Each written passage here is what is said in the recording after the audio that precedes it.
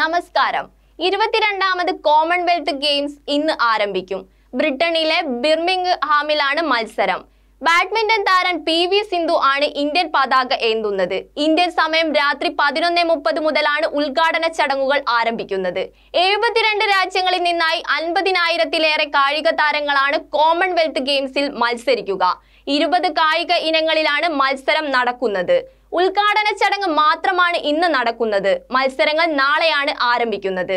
കഴിഞ്ഞ തവണ മേളയിൽ മികച്ച പ്രകടനം കാഴ്ചവെച്ച ആത്മവിശ്വാസത്തിലാണ് ഇന്ത്യ മത്സരത്തിനിറങ്ങുന്നത്. രണ്ടായിരത്തി ഇരുപത്തിരണ്ട് ജൂലൈ ഇരുപത്തെട്ട് മുതൽ ഓഗസ്റ്റ് എട്ട് വരെയാണ് ഗെയിംസ് നടക്കുന്നത്. മൂന്നാം തവണയാണ് ഇംഗ്ലണ്ട് കോമൺവെൽത്ത് ഗെയിംസിന് ആതിഥേയത്വം വഹിക്കുന്നത്. ഇന്ത്യയ്ക്ക് വേണ്ടി ഇരുന്നൂറിലധികം താരങ്ങളാണ് മാറ്റുരയ്ക്കുന്നത്.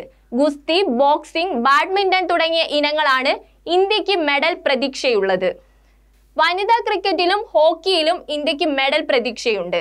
മെഡൽ ഉറപ്പിച്ച് നീരജ് ചോപ്ര പരിക്കേറ്റതിനെ തുടർന്ന് വിട്ടുനിൽക്കുന്നത് ഇന്ത്യയ്ക്ക് വലിയ തിരിച്ചടിയാണ്. കഴിഞ്ഞ തവണ ഓസ്ട്രേലിയയിലെ ഗോൾഡ് കോസ്റ്റിൽ നടന്ന ഗെയിംസിൽ ഇന്ത്യ ഇരുപത്തി ആറ് സ്വർണവും ഇരുപത് വെള്ളിയും ഇരുപത് വെങ്കലവും നേടിയിരുന്നു. കഴിഞ്ഞ ഗെയിംസിൽ നൂറ്റി തൊണ്ണൂറ്റി മൂന്ന് മെഡലുമായി ഓസ്ട്രേലിയയായിരുന്നു ഒന്നാം സ്ഥാനത്ത്. മലയാളി താരങ്ങളായ പി ആർ ശ്രീജേഷ് ശ്രീസ ജോളി സാജൻ മുരളി ശ്രീശങ്കർ എന്നിവർ ഇന്ത്യൻ ടീമിലുണ്ട്. നൂറ്റി പതിനൊന്ന് പുരുഷന്മാരും നൂറ്റിനാല് വനിതകളും അടങ്ങുന്ന ഇരുന്നൂറ്റി പതിനാല് അംഗമാണ് ടീമിലുള്ളത്. റിലേ ടീമിലെ ഉത്തേജക മരുന്നടിയും നീരജ് ചോപ്രയുടെ പിന്മാറ്റവും ഇന്ത്യയുടെ പ്രതീക്ഷയെ ബാധിച്ചിട്ടുണ്ട്. ലോങ് ജംപ് താരം എം ശ്രീശങ്കർ ട്രിപ്പിൾ ജംപിൽ എൽദോസ് പോൾ എന്നിവർ മെഡൽ പ്രതീക്ഷ നൽകുന്നു. ബാഡ്മിന്റൺ ഗുസ്തി ഹോക്കി ബോക്സിംഗ് എന്നിവയിലും മെഡൽ പ്രതീക്ഷയുണ്ട്. വനിതാ ട്വന്റി ട്വന്റി ക്രിക്കറ്റിലും ഇന്ത്യ ഇറങ്ങുന്നു. ലോക ചാമ്പ്യനും രണ്ടു തവണ ഒളിമ്പിക്സ് മെഡൽ നേടിയ താരവുമായ സിന്ധുവിൽ സ്വർണ പ്രതീക്ഷയുണ്ട്. പുരുഷന്മാരിൽ യുവതാരം ലക്ഷ്യ സെന്നും മെഡൽ സ്വപ്നത്തിലാണ്. ഡബിൾസിൽ സാത്വിക് ജയനും രംഗ റെഡ്ഡി ചിരാഗ് ഷെട്ടി സംഖ്യവുമുണ്ട്. ഓഗസ്റ്റ് മൂന്നിനാണ് അത്ലറ്റിക് ആരംഭിക്കുന്നത്. ബാഡ്മിന്റണിൽ ടീം മത്സരങ്ങൾ നാളെ തുടങ്ങും.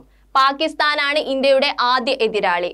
ബോക്സിംഗിൽ നിഗാദ് സെറീൻ ലവ്ലിന ബോർഗെഹെയിൻ സീക്വഷിൽ ജോഷ്ന ചിന്നപ്പ ദീപിക പള്ളിക്കൽ സഖ്യം എന്നിവരും വലിയ പ്രതീക്ഷകളാണ്. ഹോക്കി ക്രിക്കറ്റ് എന്നിവയും മെഡൽ സാധ്യതയിലുണ്ട്. ആതിഥേയരായ ബ്രിട്ടനൊപ്പം ഓസ്ട്രേലിയ ജമൈക്ക കാനഡ ടീമുകളാണ് മേളയിൽ വമ്പൻ ടീമുകൾ.